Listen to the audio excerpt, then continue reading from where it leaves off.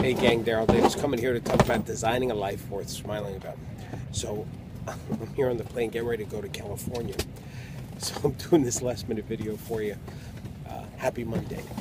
Um, I was I want to talk to you about trusting the advice of others.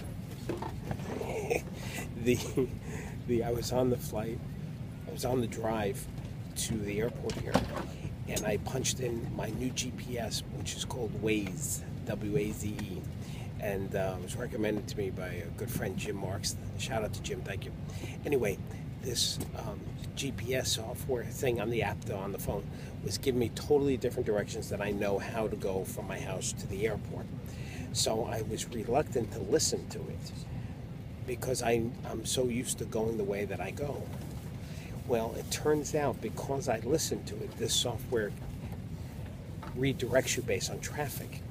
If I hadn't listened to the software, I might have missed my flight, which made me start to think. Number one, sometimes we are so used to doing the things that we do, we're so comfortable with it, even if it's not a good plan, even if it's not a good thing, we're so used to it, we keep doing that. The second thing is we have to sometimes trust advice outside of what we're used to doing. That advice could be from a person, it could be from from a, from an app on your phone. I don't know. So two things, and having a life worth smiling about.